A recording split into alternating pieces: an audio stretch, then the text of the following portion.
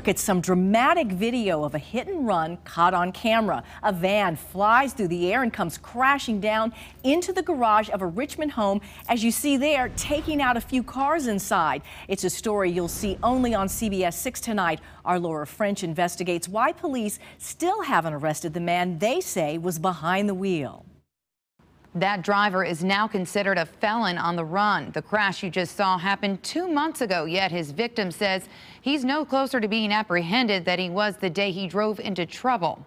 Twisted metal, shattered glass, torn up tire tread, all shed light on a dramatic scene that was caught on video at this Richmond home in the early hours of May 18th. He came right on up this berm and just launched himself Al Palmer wasn't at his Swanson Road home when this destruction took place, but his surveillance cameras were rolling.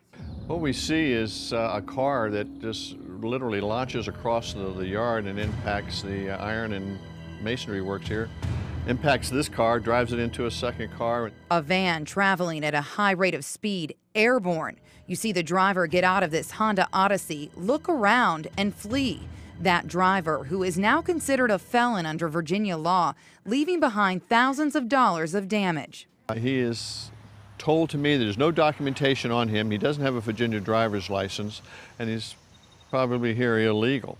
We went to the Richmond home where the suspected driver's sister, who owns the van involved in the crash, lives. No answer. He had four flat tires. Palmer wants the Richmond police, who took this accident report, to do the same. They know where he is. They've talked with him. He has even called the insurance company and admitted that he was driving the van. Palmer said the first call he got from the investigator on his case was Monday after we started making calls. We requested an interview with the RPD. They said they can't give specifics on this case because the officer handling it is off, but they say this is an ongoing investigation. I haven't had any response uh, on anything that has culminated any satisfaction for me. The fact is, I'd like to see him apprehended. It's a matter of principle. Accountability, Palmer says, for an accident that has consumed him. One, he will continue to rewind until investigators, he says, move forward.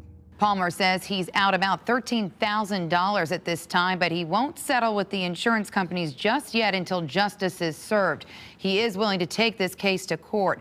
We want to make clear that we have not confirmed that the alleged driver has admitted guilt or is here illegally. The Richmond Police Department assures us they will follow up with CBS 6 on all of our many questions in the coming days. In the newsroom, Laura French, CBS 6 News. And don't forget at CBS